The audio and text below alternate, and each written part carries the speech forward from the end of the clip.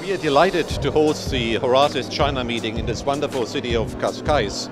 It's the 11th time we are holding the meeting. It's the foremost uh, gathering of Chinese entrepreneurs and their global counterparts, very much focusing on investment. The world is very much depending on Chinese investment.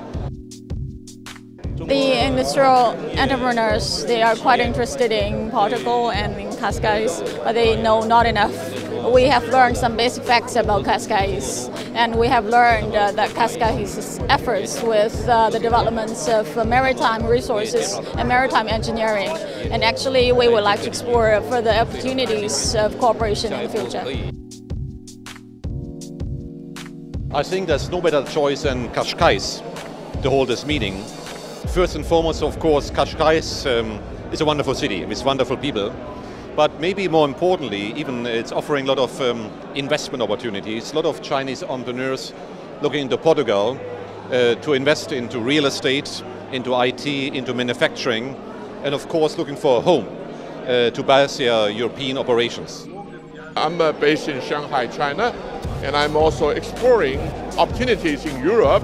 And with this event, we're here. So uh, definitely during the event, and seeking uh, uh, opportunity to collaborate with uh, business people here yeah, in this area. People need this kind of a platform to help them to facilitate the business.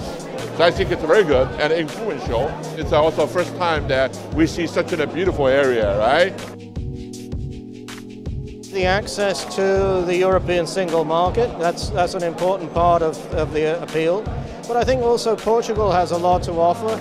It, I mean, it, it's a country which, because it's had many connections to the outside world in the past and the, you know, the, the, the, the historical legacy of, of, Portugal's overseas engagements, I think that creates an, an, openness on the part of the Portuguese people to, to foreigners and, and to uh, the, the influences from overseas.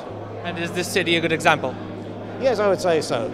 Temos uma posição oceânica, o que é importante, com portos de águas profundas, em frente do canal do Panamá e agora eh, está alargado e, portanto, eh, há um tráfego marítimo extremamente importante que pode ser aproveitado eh, para nós sermos um porto de entrada na Europa ou de utilização depois de barcos mais pequenos para o norte da Europa. Cascais tem que ser devidamente apreciada nas suas potencialidades.